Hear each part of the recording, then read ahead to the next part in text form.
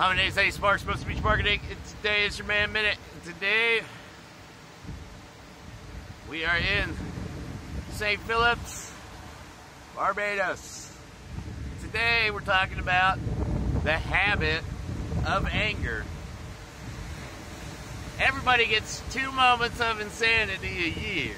But if you drag that crap on into your daily life, you're just going to piss people off.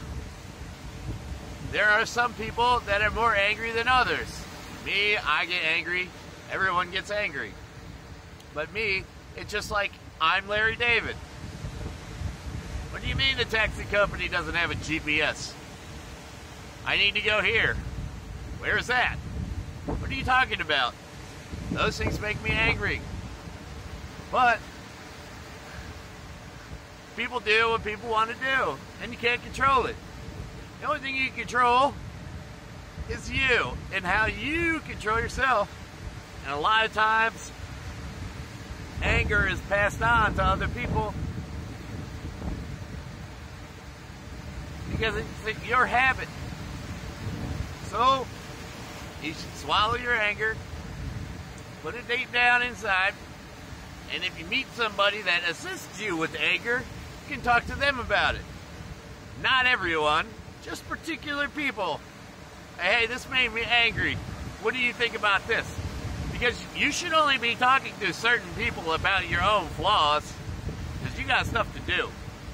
And you can't take the time to talk to everybody, especially employees. Don't ever talk to no employee. Who knew? About why you're mad at some other employee. That's just dumb.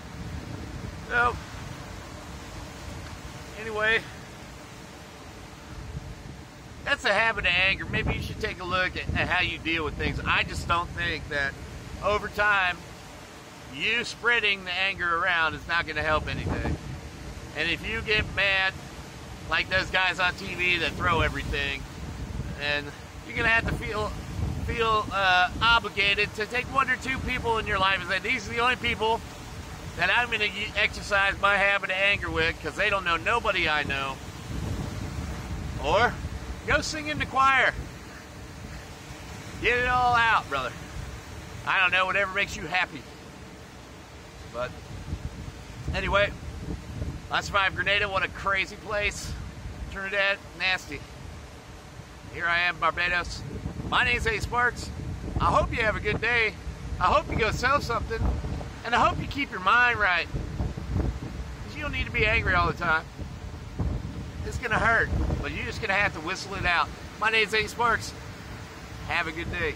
This is your Man Minute.